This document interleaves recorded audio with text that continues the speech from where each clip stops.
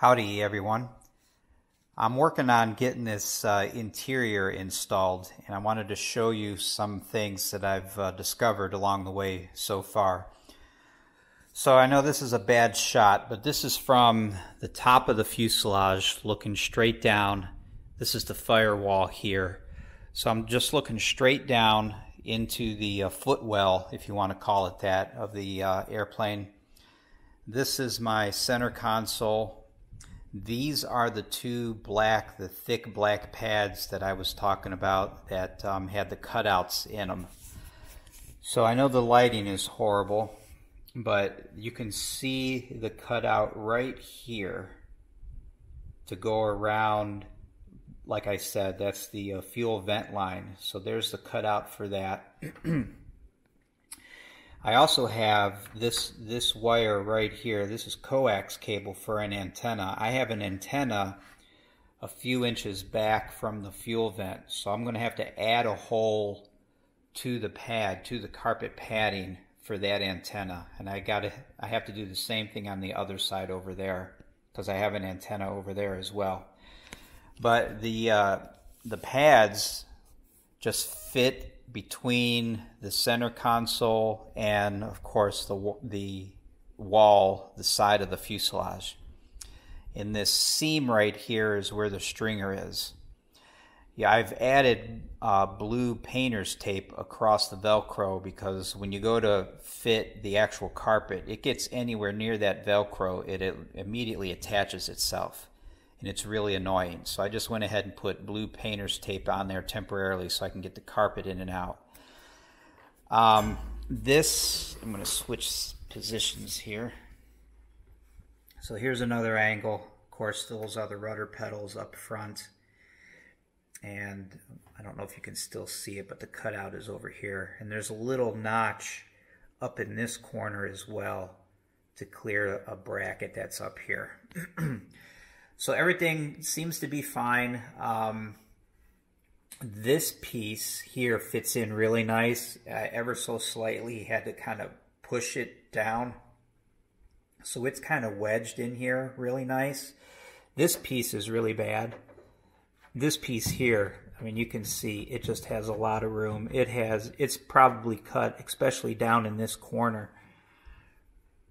Down in this corner here, it's probably cut a good three eighths of an inch too narrow. If it was three eight three eighths of an inch wider, it would fit a lot better.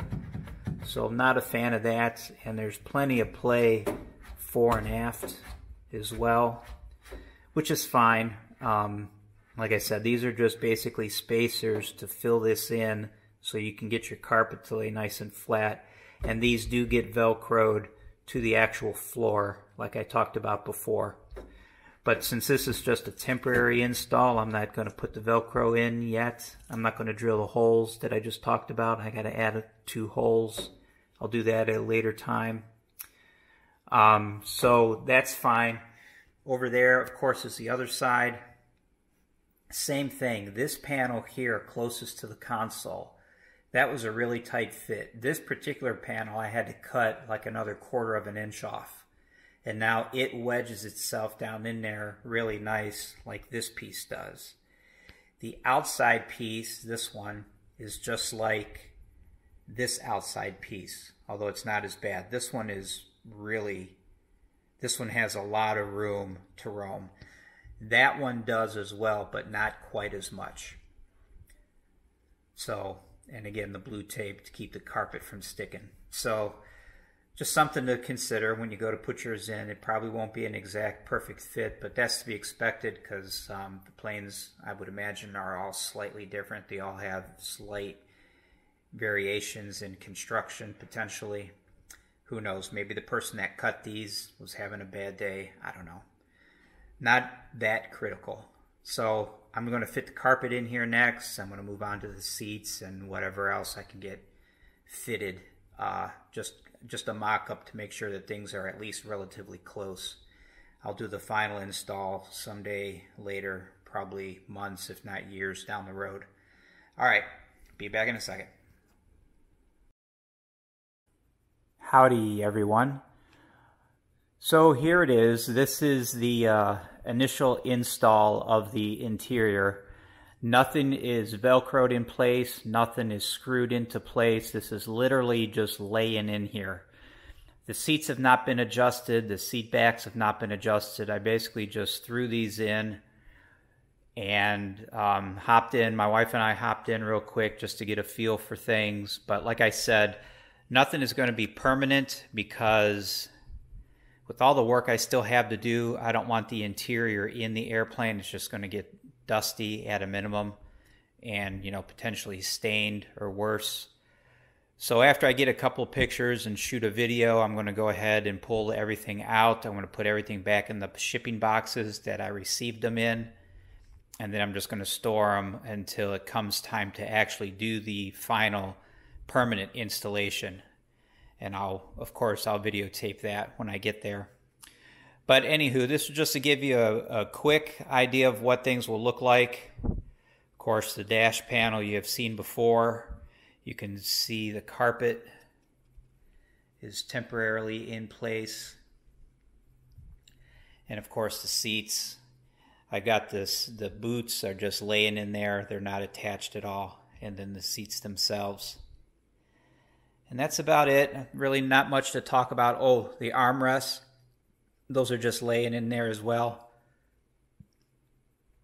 Not a, not a whole lot more to talk about. Like I said, Things are just thrown in temporarily.